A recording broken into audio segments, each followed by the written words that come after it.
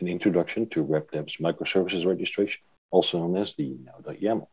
The now.yaml solution works in conjunction with the DevOps module that allows microservices to be defined and managed from the repository.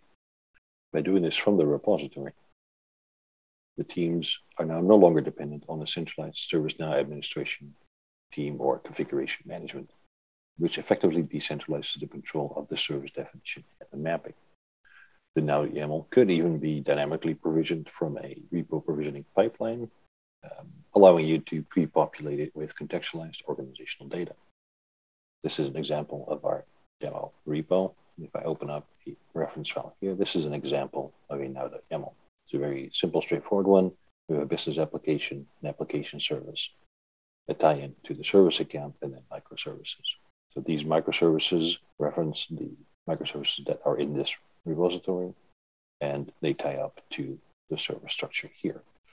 If a application service is defined in the now.yaml, you have the option by default that that application service will also be created and tied to the business application. This is CSDM compliant, so you could also go the business service and business service offering route to tie that into your microservices. Additionally, as you can see here, each microservice has tags. These tags will be used to dynamically generate the service map for these microservices, allowing you to understand where this microservice is running and or which infrastructure is being used to run those microservices. Once this file is created, it will be consumed automatically by ServiceNow and generate something like this. So here you see that same business application and the application service. Look underneath it, the two microservices we had defined, and you see infrastructure underneath it. This infrastructure is generated and associated automatically because it shares the tag with the tag-based application, which means when you deploy new infrastructure, that will automatically be picked up and mapped back into this map. So you always know what infrastructure is associated to each microservice.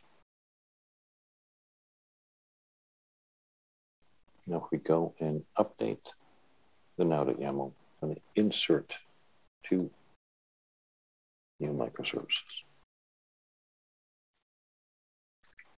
The two I prepared earlier, so we're adding a web reporter microservice that is tied to Insights Operator and a data lake API, which is tied to a common data lake API application.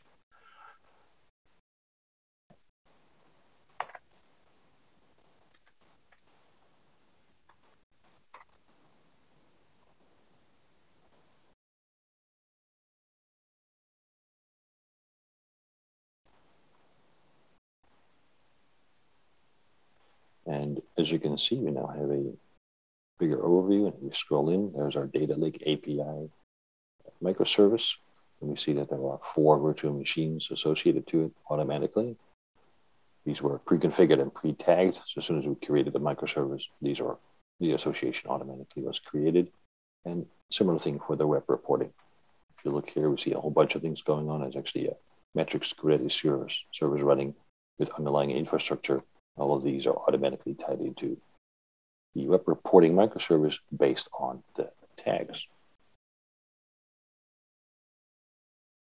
Each deployment of the now.yaml includes a alignment to your service model, the way these are constructed, or the options you have here based on the model that you're using, and includes the configuration of repo controlled fields, which elements you can include in a now.yaml and how they map out to your CMDB entries to your services. Please contact RapDev to learn more about this or our other DevOps centric solutions. Thank you.